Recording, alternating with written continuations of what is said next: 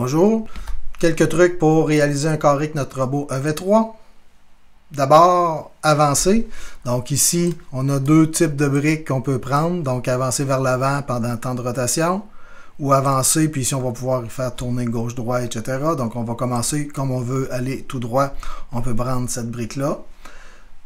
On évite d'aller dans les moteurs individuels parce qu'ici on gère les moteurs un à la fois, donc c'est plus compliqué. On veut se déplacer, donc là j'ai à gérer des moteurs deux moteurs. Donc, bonne pratique de venir dire dans quelle part sont mes deux moteurs, de façon à ce que mes deux moteurs soient synchronisés quand je vais avancer. Donc, si un moteur fait un quart de tour à, euh, droite, je ferai également un quart de tour à gauche et j'aurai à ce moment-là une belle ligne droite.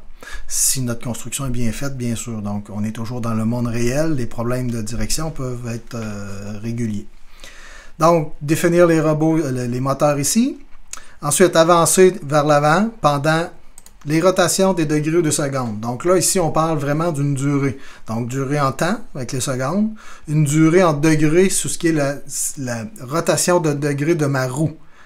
Le robot n'est pas en train de tourner sur lui-même parce que j'écris des degrés, mais bel et bien parce que j'ai fait faire 360 degrés pour une rotation, 349 pour un peu moins d'une rotation, etc. Donc, soit qu'on décide de toujours être en rotation, donc à ce moment-là, je suis en nombre décimaux, donc j'aurai 1.25 rotations, ou en degrés, où là, j'ai des nombres entiers qui peut représenter un nombre euh, de rotations euh, également. Donc, on peut travailler en rotation faut trouver à ce moment-là, l'élève a un défi à relever. Bon, ben le carré, il les mesure combien? Donc, est-ce que c'est un mètre? Est-ce que c'est trois tuiles de plancher ou quoi que ce soit? Donc, il trouve le nombre de rotations.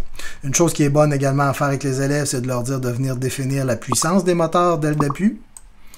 Donc ici, peut-être un 70%. On ne touche pas trop à ce chiffre-là, donc on ne fait pas varier et les rotations et le pourcentage. Donc, on le définit au départ et on n'y touche pas. Donc, pour tourner, ici, donc je peux ici utiliser avancer tout droit. Donc, on peut à ce moment-là faire tourner gauche-droite.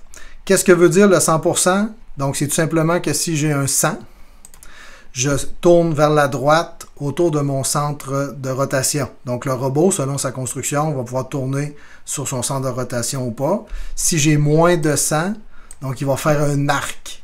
Donc, le coin du carré sera plus à angle droit, mais ça, ça va être un arc donc qui va faire. Vous pourrez faire tester. Donc, on va mettre ça ici à 100 pour avoir un beau carré franc. Encore une fois, attention au degré. Ça ne veut pas dire je ne vais pas écrire 90 degrés là. C'est pas là que ça se passe pour que le robot fasse un 90. Donc, ça, c'est encore une difficulté là, à faire attention. Donc, encore une fois, on trouve le nombre de degrés pour pouvoir faire notre 90.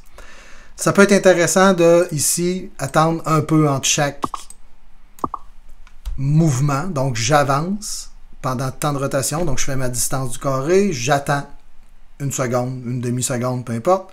Ensuite, je me mets à tourner. Et je pourrais venir également encore attendre une seconde. Et là, j'ai à répéter ça un certain nombre de fois.